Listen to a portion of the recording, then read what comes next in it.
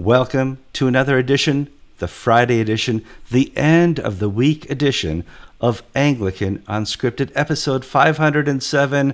I'm assuming I checked it like half an hour ago. It's Friday, the brain is gone. I'm Kevin Kallsen. I'm George Conger. I'm Gavin Ashenden. It's the day after Ascension Day, May the 31st, 2009, quite close to my birthday.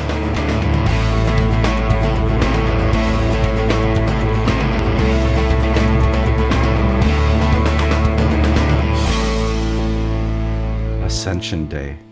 We're going to talk about that in a minute. First, let's talk about your responsibility as an important viewer of the program. You need to subscribe to our show, comment on our show, share our show, like our show, but for you know, foremost of anything, you need to watch the show, and we appreciate you doing that. Gavin, you almost had your own Assumption Day. and then it didn't make Here's how this started. I uh, was busy yesterday morning, and I log on to Facebook for a second, and I see some medical distress on Gavin's uh, Facebook page saying he's going to the hospital. Well, when that happens, my heart rate goes up and I have a heart attack. I contact George. George, did you hear this? Gavin's George never knows anything. So. George doesn't know anything. What? He's at the hospital. Well, I hope he paid his bill. And so I'm like, well, we better find out what's going on. Gavin was kind enough to update us throughout the day of what was happening. Uh, you went to the hospital for what reason, Gavin? Well, about a month ago, I cycled too hard and fast up a hill on a bicycle trying to catch a train, mm-hmm. and I had a rather nasty cardiac episode. And um, I, I thought I was dying. There we are. I caught the train, and what really worried me was that sitting down an hour later on the train, the same, the same episode came, and I, and I thought, okay, I really am dying. Um, I must do one of two things. I must either call an emergency and get to the hospital, or I will go to my meetings. I have a fairly binary attitude to this. I thought, well, if I'm going to die, die anyway, there's no point in distressing people. I'll just just as George said, be an Agatha Christie figure with a clutching a an old fashioned railway ticket between my teeth. And we found the folded bicycle the, the back. Yeah. coach. uh, or, or I won't die and I can go to the meetings, but there's no point at all in spending the day in emergency and hospital. That never achieves anything. Anyway, that I thought, well, I just I'll just keep quiet about it. I didn't die, but but my heart and my chest were, were not in very good shape and haven't been since then. Mm-hmm. So I had some particularly nasty symptoms. And unfortunately, my wife asked me to carry some very heavy bricks. Uh, and as I set about doing it, I realized, I, you know, my whole system said, really don't do this. So I, I had to say, I'm sorry, I can't carry these bricks. So she said, why not? And then, of course, I had to explain the whole story, at which point she handed me the phone and said, phone the doctor. And I said, I don't want to phone the doctor. Anyway, I did have to phone the doctor in time, Gavin, this story will improve so that your wife was having you make bricks, right. but she would not give you any straw. Yeah, we but need to work I, on the story I, a little, okay? I, why can't you make bricks without straw? See, in my in, in, my house, the interrogation by the wife is more fearsome and heartbreaking and um, heart-causing chest pain than but the bricks. But she's a German from Wisconsin, and she starts out, "We have ways of making you talk, Kevin." I'm I'm not actually going to, to explain the whole story, but I believe my wife is quite as scary as yours is, Kevin. However, I, I, got after this forensic investigation and a few pieces of good advice for not having fessed up earlier. I write. Uh, I was astonished. It takes three days to get an appointment, and the once I just told the surgery what had happened, they said, "We'll see you in 20 minutes." So I got on my motorbike, went down there, met a very nice Bulgarian doctor a woman doctor in her 40s. And the very, very nice thing was she was as round as I was. So I thought, that's great. She's not going to tell me about my weight. Diet. However, she said, I'm calling an ambulance. You're going straight to emergency. And I said, no, no, no, my, my motorbike's in the car park. I'll get a fine. Let me, let me go home first. So we had a bit of a fight, but she did let me go home on the motorbike. Mm-hmm. Uh, and anyway, the ambulance then came. What I then wanted to do was to do morning prayer before the ambulance came. So so there wasn't any embarrassment and i didn't have to say anything in public because we english get very embarrassed i'm not quite despite my effusion of the moment i'm not quite as ready to talk about personal medical details as as many other people no. however I, uh, I, I i went to the hospital Uh, and to, to keep it at its simplest, my heart rate has been at about between 80 and 120 for 30 years because of this nasty atrial fibrillation. And it's been getting worse. They've given me a nice drug, which they said has a side effect of making you depressed. Can you cope with that? I said, well, if, if you keep me alive and reduce my heart rate, I, I, will I will look on the bright side of life. anyway, the good news is my heart rate is down to about 60 something for the first time in 30 years. And I'm feeling a bit ebullient. I think the problem is not going to be depression. It's going to be keeping me keeping me from jumping up and down with joy all the time. So I'm I'm I'm not dead. Uh, what's that wonderful song in the Holy Grail? Not not. I'm dead not dead yet. yet. Not dead. no, you're, you'll be dead in a couple of minutes. Can't you stick around? Live. well, uh, thank, but but there was a very kind. I, I didn't. The ambulance came before mm-hmm. getting. I was looking forward to morning prayer so much. It was Ascension Day, and there were things I I'd been thinking about. Every time the the church year comes round, I feel I'm, I'm getting this, the feast for the first time. Mm-hmm. You know, Easter, Incarnation, Pentecost, Ascension. It's very exciting being a Christian. That the Holy Spirit tells you something fresh each year. And I was getting terribly excited about Ascension Tide and wanting to say a few things. So when the ambulance came before I could start, Oh Lord, open thou our lips, I was a bit disappointed. And and if I don't tell people prayers aren't going to happen, they get a bit. Um, well, in English, you say "arsey." I don't know if you're allowed to say that in America. You can say it. they um they, they they express some of them express their opinion, saying, you know, where were you? Why don't we know? Hmm. So that was the reason why I, I had to put up an unwanted medical bulletin. I'm sorry, guys. I I might not be back. well, you just mentioned John uh, Cleese from uh, Monty Python. Great scene about not being dead yet. Are, are, we allowed to say his name, Kevin, anymore? Well, that's what we're going to talk about. I just wanted to make sure we were. If the screen goes blank, folks, you know why. the the John Cleese I know, liberal, funny as can be, uh, great perspective on the whole world, and knows how to deliver humor, sarcasm, and makes us laugh at ourselves. The John Cleese of 2019 is an ultra white privileged conservative right winger uh, because he's uh, trying to take on this uh, political correctness going on in London. We're being accused of also being right wing radical Christians uh, in in the Jimmy Swaggart um, type uh, right wing politics. And I thought, you know, we need to defend ourselves or let, let, let people know our perspective on polity because the Jesus I read in the Gospels was apolitical. Every time somebody every time somebody asked him a political question, he answered with another question. And that's his nature. And it's kind of our nature as well not to consider ourselves, even though our polity may be defined right, as that being right. We think it's centrist. Kevin, that's so helpful. Uh, Richard, I'm not going to use your surname, but this is because you wrote in saying Kevin must watch his speech, speech. because because words can kill, and he ought to know. Kevin ought to know that there are at least uh, as many definitions of socialists as Allah has secret metaphysical names. I could have said so, democratic socialist. I know. so the, the, I thought this was important because a few people on the web page have said you guys are straying into politics.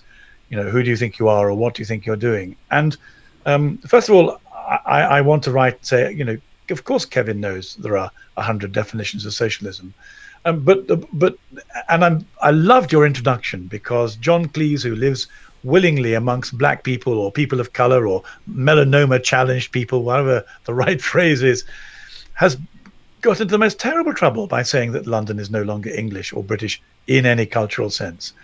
Um, it's also the anniversary of 1984. Mm-hmm. Uh, I, am reading a really a most excellent book, which we might put on on the web page about Orwell's writing of it. 1984 has suddenly come of age. This is its moment. It wasn't a prophecy; it was a warning, uh, and it was a warning uh, about what's happened to John Cleese, uh, and also uh, uh, about not misreading some of the things that we are saying. Um, I, we've never talked about it, but I don't think any of us are right wing in a collective sense. I imagine that the politics that between the three of us, we would differ enormously on economic solutions and on some social solutions, uh, and even on the virtues of capitalism. But we are united in one thing, and and the, it's the ascension that makes this more real to me today than ever.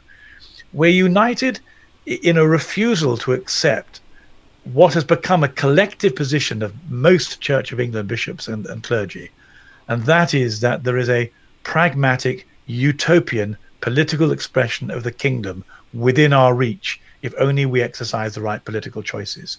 Now, that's the left. What people don't often understand, because the papers, the media doesn't help us with this, is that the right is not the mirror opposite of the left. Um, indeed, we'd have trouble describing what right meant. But for our sake, I think it's, well, we probably describe ourselves as centrist, most of us. But for our sake, it's a rejection of left wing political utopianism masquerading as the kingdom of heaven, not an affirmation of any particular set of cultural or economic or political values. And it's not like the church doesn't get involved in politics, George.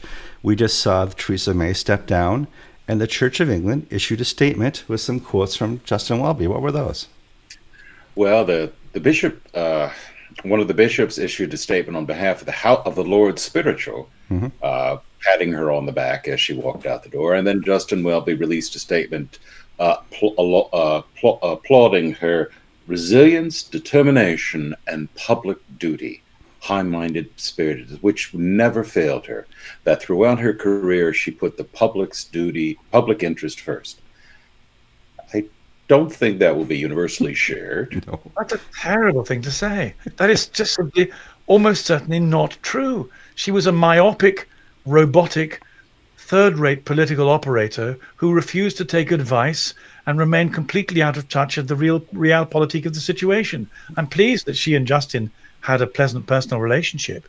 Uh, and, and we shouldn't say rude things about her in public. So I'm sorry, I've just broken that.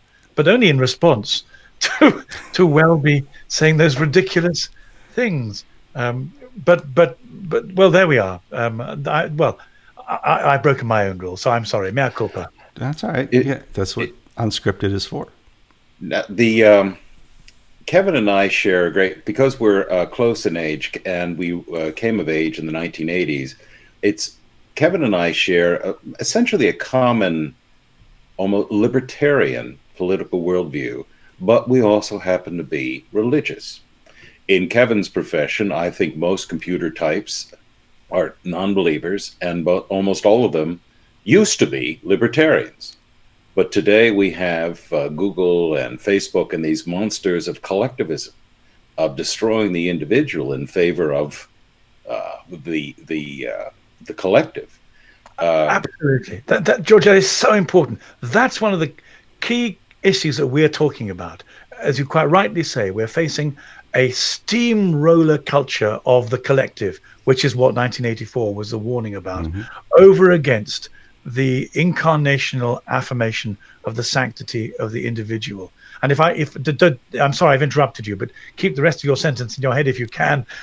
One of the things I wanted to add to that was the, the ascension is about many things, but one of the things it does is it takes our eyes off off off the material world as we have it, and it locates them very clearly on heaven. Now, the socialists have always hated us for that. They've mocked us and said, this is pie in the sky when you die argument. But the very fact they mock us so effectively means I think we've struck a nerve. That there is no utopian solution in a fallen world where people have to get saved to make any difference. And all the stuff about all the misreading of the poor, the humble, and the low in scripture is the is the is the attribution of political and economic characteristics where they're meant to be spiritual. The, the, the poor and the humble in scripture is essentially a spiritual characteristic, not a political one. Scripture makes that clear all the time. And as Kevin said earlier on, Jesus never gives political answers. Ever, ever, ever. And that's what binds the three of us together. Well, one yeah. of the interesting things, we're, uh, we're interrupting George here, the Beatitudes uh, are the incredible redefinition of human character. And if you get a chance, reread them again to understand exactly the character God is looking for in us through the Beatitudes. George, on to you. um, if we're going to do true confessions, my self self image mm-hmm. is that I consider myself to be a man of the left. I probably am farther left than Bernie Sanders. Where wow. I disagree with him, where I disagree with him is how we achieve the aims of justice, of uh, fairness, of peace, of toleration. In other words, the mechanisms and the proposals that involve coercion by the state or coercion by a the collective against the individual, I find abhorrent. Look, I have I I am came from a privileged background. Um, I grew up in Palm Beach, Florida, and I remember something. And I, I and I've at one time I contemplated going into politics and the law. And in 1979, I was home from vacation from school. I went away to school, and they were starting the presidential primary races. And there was this unknown congressman uh, from Texas who had also been ambassador to China and this and that. And he was running uh, for president. And his mother lived in the town where I lived, and his mother was a friend of a friend of my mother's. And it was said, George, we need somebody to pick him up at the airport and drive him around to do the uh, politicking. So would you mind driving your mother's Buick Estate station wagon and pick up George Herbert Walker Bush at the Palm Beach International Airport? And which I did. This is before George Bush was anybody. And so I spent uh, three days and essentially driving him around to uh, activities. And I chatted with Bush in one or two of the uh, quiet moments. And what I came away with was, you know, I asked him why he was doing this. And he said, George, to those whom much has been given, much is required. You have been given the advantages of education, of birth, and wealth, and your life will depend on what you do with those. Now, I had a religious awakening as a young man that responded in some ways to George Herbert Walker Bush's injunctions. I'm not a political Bush person. I'm not prompting his son or anything. But that imperative to those whom much has been given, the Lord requires that you give much back, has led me. I have never had a socially prominent parish. I have spent my ministry in the amongst the rural poor. Gavin was a priest in I don't say I don't think you call them slums, but what do you call yeah, them? An estate. No, an when estate, I got there, they were slums. And in, in a state in South London. And our call has not been to empower the rich and the powerful. Our call has been to empower the individual with through a relationship in Jesus Christ. Now, where I uh, have problems with socialism is it's basically I have problems with socialists who are seeking to aggrandize to themselves uh, power, you know, economic power, racial power, legal power, political power, at the expense. I have a congregation that I you would say, and this is a, for those who are easily offended. I'm going to offend some people. Most of the people in my congregation are what you would my grandmother would call white trash. Um, not you know some people don't have all their fingers some people don't have all their teeth some people a lot of them are raising their grandchildren because their kids have problems uh, with drugs and alcohol and this and that not all of them but there is a sizable portion there those people who have been left out by the american dream either through their own choices or through this or that the other the causes are relevant but the call of christ upon me personally has been to be a vehicle of his love and help. And part of the mission that I see in our reporting and our journalism is not to push a side, but to be vehicles for the propagation of the truth. Because mm-hmm. it's the truth that will set you free, not these 39, uh, not these 10 point manifestos. And I think people need to hear that, that we are not the right wing equivalent of the left wing people that we're, we're criticizing. Uh, there was a point when I was desperate to become a liberation theologian because it was so cool. It really was incredible. That was the way to, to social status amongst the people I was involved in. But but I've I, at the age I am, I'm absolutely convinced of the Ashenden number one maxim, which is the more spiritually impoverished people are, the more they reach for political solutions to the expression of the gospel.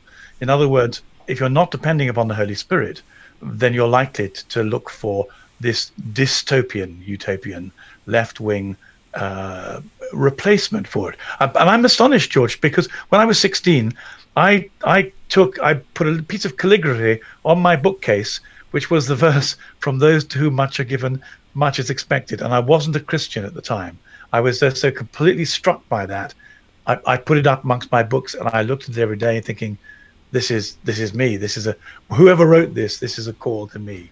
Uh, I accept that it was extraordinary, had an effect on me. Where where people would label me a conservative or from political overtones is that I believe the capitalist system has done more to raise people out of poverty, to address the crushing, crying needs than any government organized program. Um, so it's the mechanics of how you get from A to B well, that would make me a conservative, but the destination is the one that I would share with our liberal uh, talking heads on television.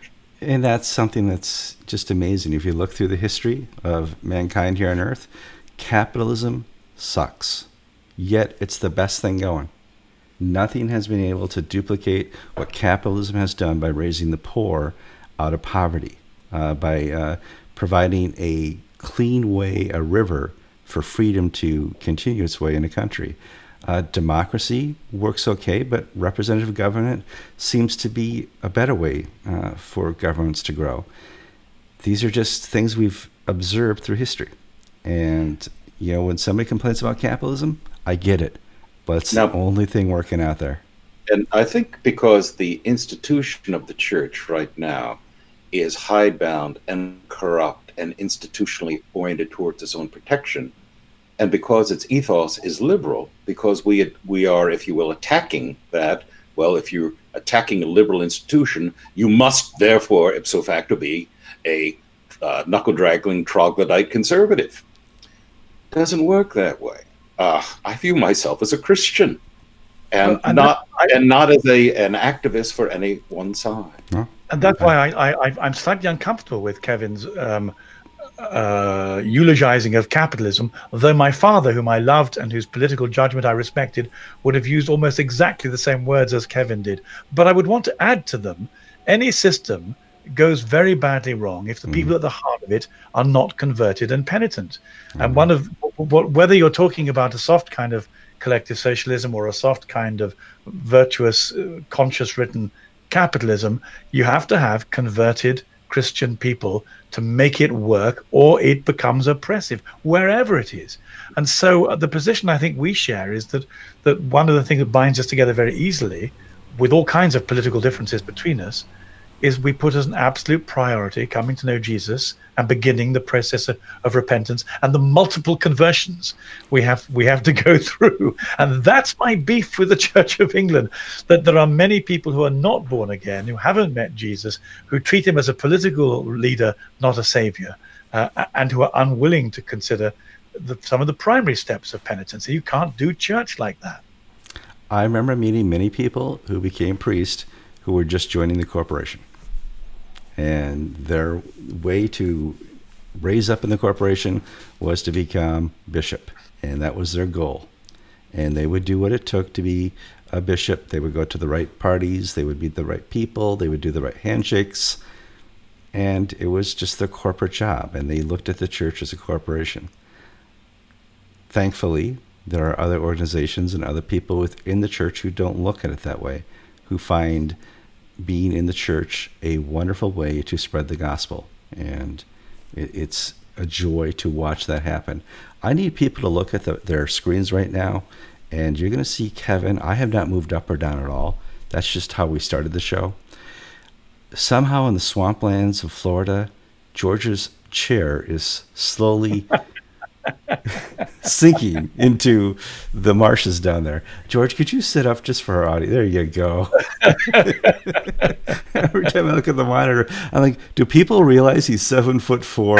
You know, I'm five six. Gavin's a little taller than I am, and you just look at the monitor, and it's not a representation of who we really are. That's a that little better. I, I, loved the fact that we could come together physically in Jerusalem and have a picture sure. with the three of us with our, our real our real sizes. Mm-hmm. Uh, Gavin, Kevin, and and Goliath. Giant, oh, it was great. Yeah. well, I, I think the the underlying thesis that we've expounded this, this is what lies behind so many of the criticisms we have. One of the things we talked about before the start of the show, as we laid out the things to discuss, uh, we, we received from uh, a viewer named first name Helene.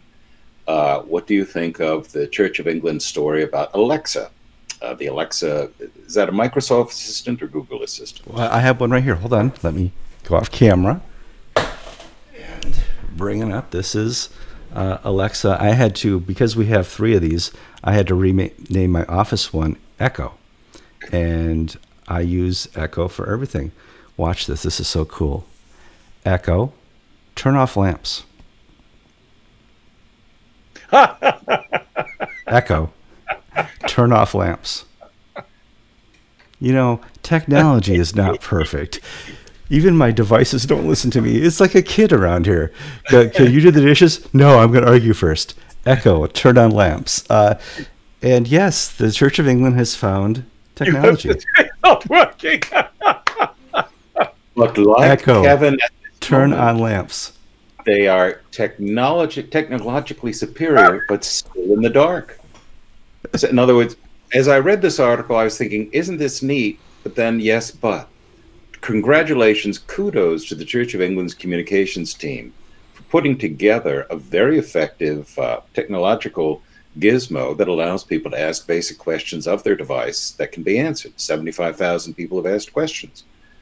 The problem is that the questions are being answered. And Kevin had an analogy. The Church of England has built a Ferrari, but has neglected to put any gas in the tank. Oh, there's lots of great analogies we could use, and that's that's a primary one. Technology, uh, by definition, is the application of knowledge. And we've seen great uh, resources within the church using technology, the Gutenberg Bible, the printing press. You know, it was an early start to getting the common message of Christ throughout the lands. It worked wonders. Will the Alexa app for the Church of England do the same? If there's no there there, I don't see how it could happen. Now, at the same time, we shouldn't be uh, dismissive of new technologies and its impact on evangelism. Mm-hmm. We would be foolish because, look, Gavin has uh, created out of out of thin air, if you will, an Episcopal ministry over the internet that 10 years ago wouldn't have been possible because the internet wasn't that didn't work that way. Yet today, Gavin influences and is in contact and has a direct uh, interaction with more people than any Episcopal bishop that I know of, maybe it except is, for the presiding bishop.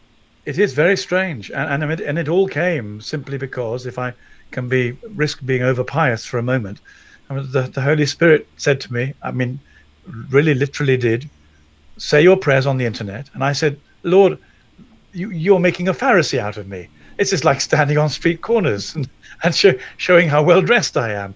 And then and then when I was complaining to him about um, about not being able to preach in a, in a Church of England pulpit, he, he said to me, preach on the internet. And I said, Lord, for 35 years, I've been learning to read people's souls by looking at their eyes as I preach and responding to what you, you say to me at that moment, going off piste. It's quite scary, but it's very effective when you turn up. To, to, to preach to a camera, I'll look at a complete idiot. I've just put my idiot ascension sermon online this afternoon. But, but what happens is the, there are people out there, and in this sense, the Church of England are, are right. Um, there are people out there who are very hungry indeed for prayer, for ministry, for, for Bible exposition. Uh, and I think we should give credit to the IT people the Church of England for beginning to try the process of making some kind of engagement. Um, but but you're absolutely right. Um, again, it's it's it's it's how if if you if you are doing what God wants you to do, He will He will bless what He wants to bless. It, it doesn't matter whether it's internet or standing on street corners. If He told if He told me to stand on street corners and do that, He blessed that, and people would come to know Him. I'm very quite jealous of the people who've got the courage and the gift to do that. I think that's very brave. Let, let me describe what they're doing right. They're doing right by reaching the new generation. Uh, I went to a, a little get together yesterday morning called the Parents Breakfast for uh, the high school graduation, where they got all the parents into a room, and we were going to have some donuts and some fruit and coffee, and discuss discuss how proud we were of our children graduating high school. And we're sitting down on couches and talking. It gets louder and louder and louder in there. I'm looking around, and I didn't see anybody on their iPhones. Wow. I didn't see anybody taking selfies with their besties' friends. I didn't see anybody updating their Instagram or Facebook. I just saw people engaging and talking and sipping coffee and stuffing down donuts the way we were meant to, the way we were created to. Now, you go to the gymnasium uh, where they had this award ceremony for the kids, and you look off to the side, and kids are sneaking little selfies of themselves, and they're online. They're trying not to be seen by the teachers, but you can see under their jackets they're they're texting their friends and Instagramming and whatever they do. Well, you have to be able to find a way to communicate to the kids of today who spend all day looking at a device the, the size of the palm of their hand. And I think the Church of England looking into that and trying to discover a way to do that is great. When you finally reach those children, please have the gospel, not some watered down, cranky old message that we accept you and affirm you just as you are. It's time to move on. Guys, uh, I hate to cut you short, but as my son is graduating this week, I have a whole bunch of uh, meetings to run to. Like, I have to go pick up mom and dad at the hotel and take them out to lunch. So, do you guys want to finish up with something quick? Yeah, let me just do the good news, bad news, GAFCON. Sure. Yeah. Let, let, let's let's get in the Anglican weeds. Uh, bad news for GAFCON this week. On uh, Monday, the new election for the Archbishop of the West Indies, Howard Gregory of Jamaica, was elected, besting Philip Wright of Belize. Gregory is 68, Wright is 52, I believe. Wright has attended ACNA uh, conferences. Uh, he is on side with GAFCON. He is of the Drexel Gomez uh, coalition, faction, whatever you want to say. Mm-hmm. He lost. Really hard nosed politicking. Uh, Gregory is a liberal Catholic uh, in Anglican terms. He has uh, called for decriminalization of abortion, decriminalization of homosexuality. He's all on the sort of progressive side. And he's young. No, he's 68. Oh, okay. I thought the, uh, the other one's. The Oh, yeah. right, right is 52. Okay. So GAFCON could have picked up another primate and then had somebody in office for 18 years. Mhm. Uh, now, so that, but just look at it this way Gregory's got two more years, and it's the Jamaicans are going to work very hard to make sure that they keep that liberal uh, hegemony. But bad news. And then good news uh, Jackson Ole Sapit, the Archbishop of Kenya, after earlier in the year and last year saying he would be going to Lambeth, has now told the Religion News Service he's not going to Lambeth. And he's not going to Lambeth over uh, Justin Welby's uh, indecision, inaction, double minded myths over the uh, homosexuality issue. This is a coup. 2008, his predecessor, Benjamin Nzimbi, did not go to Lambeth 2008, and probably 30 out of the 40 Kenyan bishops followed suit. We'll see the same thing this time around of the Archbishop leading the way. That's a surprise. That is. It, so at this stage, Rwanda, Nigeria, Uganda, and now Kenyan archbishops will not be going to Lambeth 2020. And, and I'm quite sure Foley's not going to. I'm Kevin Kallsen. Oh, no, no, no. Ooh, you you, got something else? you'd say we could finish up. Oh, yes. Two things. Uh, someone's knocking at my door. Hello. Oh, it's not my wife. It's it's the Amazon man. You give me thirty seconds. Um, so I was going to say two things. First of all, uh, we, um, in terms of the Bishop of Chelmsford, uh, he said uh, the Bishop of Chelmsford has has said uh, I've had no conversation with John Parker on any matter for over a year. I'm at loss to know where this comes from, but since the heart of this story is a vulnerable child, I'm not going to get involved on Twitter. John Parker had said, I was told basically by my bishop if I wished to follow the teachings, uh, I was no longer welcome in the church. Um, there's an issue of fact there that needs to be cleaned up.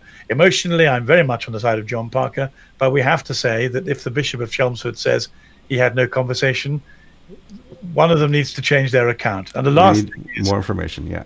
we need more information. The last thing, finally, is that that because of the great warnings about 1984, uh, recommend a book by Dorian Lynskey, The Ministry of Truth, a biography of George Orwell's 1984. Kevin, could you put it up in case people it. read it? It's a must read. Right. I'm Kevin. I'm Kevin Kallsen. I'm George Conger, Lefty Pinko George. I'm Gavin Ashenden. You've been listening to episode 506 of Anglican Unscripted. Echo. Turn off lamps.